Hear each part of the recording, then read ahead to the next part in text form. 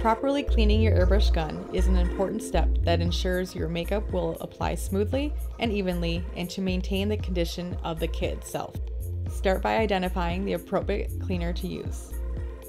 To begin cleaning, start by spraying out any leftover product. Once removed, apply 3 to 5 drops of cleaner into the cup.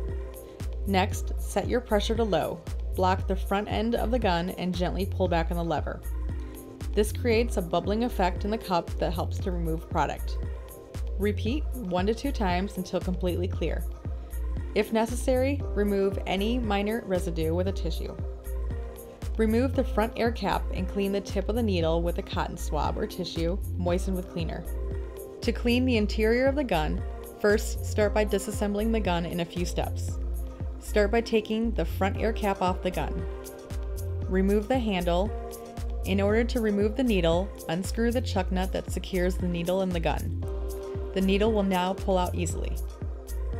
Be careful not to damage or bend.